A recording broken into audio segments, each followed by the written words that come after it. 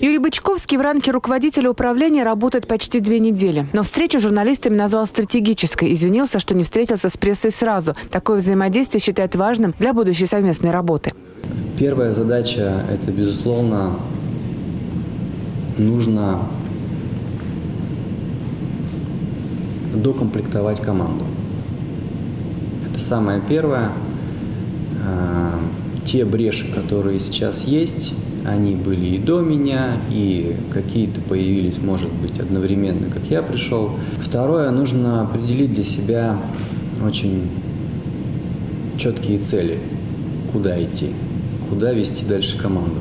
Мой личный приоритет, мне нужно, чтобы моя семья вот очень комфортно устроилась здесь, и чтобы ей понравился также этот край, как и мне.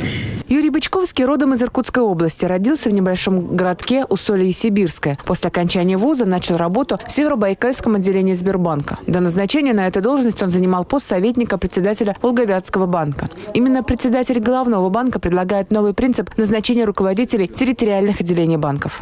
Председатели территориальных банков э, не должны работать более пяти лет в, одно, в одной должности.